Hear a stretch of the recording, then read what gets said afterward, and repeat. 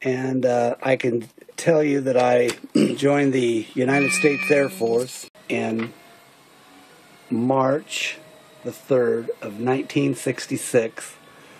And I spent the next four years in the Air Force. I spent uh, some time in Vietnam and Thailand. And uh, spent about three years of my time in the United States. And I got out in 1970.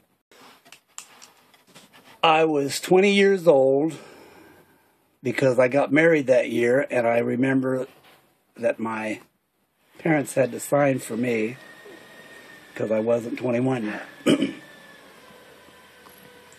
Anyhow, I went to uh, then I went to basic or I went to uh, technical school for about 12 weeks to uh, basically learn uh, aircraft mechanics. Where upon my first duty station, I would be assigned to work on it was called the Phantom aircraft, F 4C fighter, and they also had reconnaissance versions, and that was what I learned to work on. I had a couple of incidents where I was in a combat situation. The Viet Cong come, tried to come on the base. Uh, I was there with another soldier.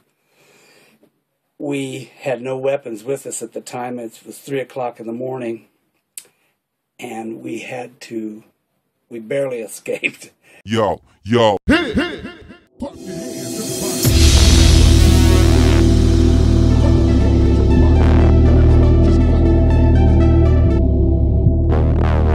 Experience new